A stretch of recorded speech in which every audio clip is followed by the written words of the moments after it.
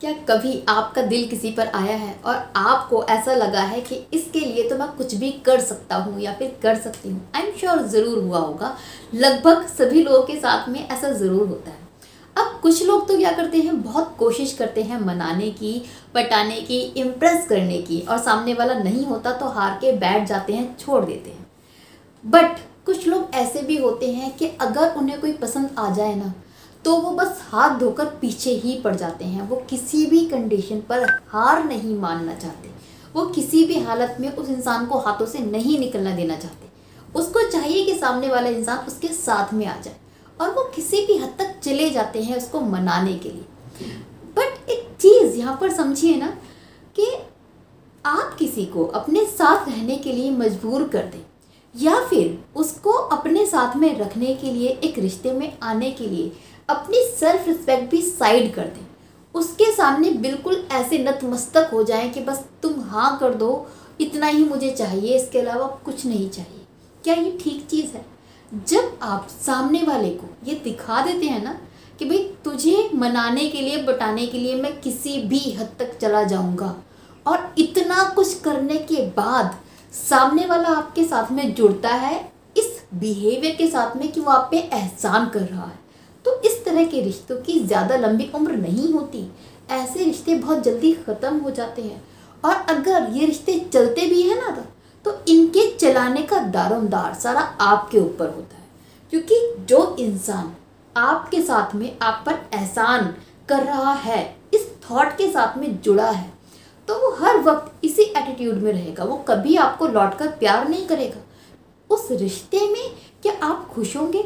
जिसमें आपको रिटर्न में प्यार नहीं मिलता रिस्पेक्ट नहीं मिलती, वो इज़्ज़त नहीं मिलती जो आप डिज़र्व करते हैं, नहीं खुश रहेंगे।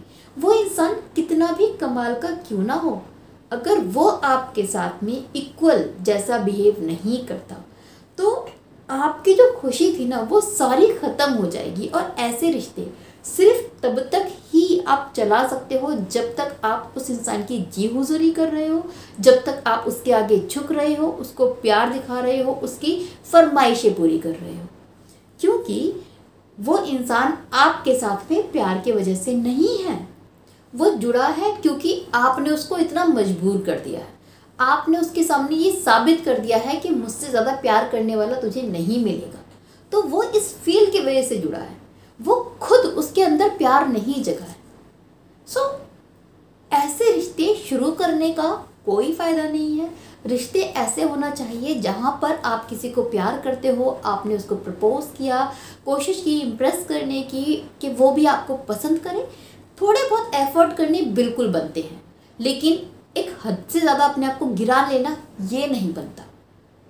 जहाँ पर आपको लगता है कि भाई सामने वाला मुझसे इम्प्रेस होता ही नहीं है, वो मुझे पसंद करता ही नहीं है तो उसको प्लीज़ जाने दें।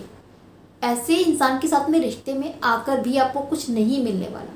सो so, जो इंसान आपको पसंद नहीं करता उस चीज़ को एक्सेप्ट कीजिए कि वो पसंद नहीं करता।